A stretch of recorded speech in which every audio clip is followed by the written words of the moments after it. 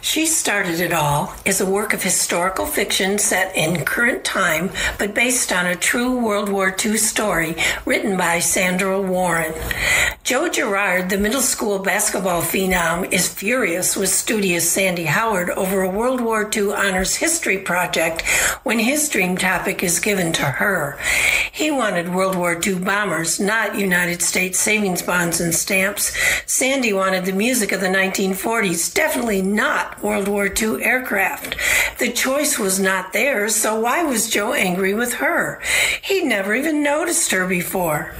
Amidst pressure from teachers, coaches, parents, and friends, neither Joe nor Sandy could have predicted how their unwanted assignments would solve a 70 year mystery, uncover forgotten history, and bring them together in the process. This work of historical fiction is based on the award winning true story We Bought a World War II Bomber, the untold story of a Michigan high school, a B 17 bomber, and the Blue Ridge Parkway by Sandra Warren. Visit the historical marker commemorating the Buy a Bomber story on the Blue Ridge Parkway in the Meadows of Dan, Virginia. Paperback and Kindle versions are available from Amazon.com, BookBaby.com, Sandra Warren's websites, SandraWarren.com, and ArleyBooks.com.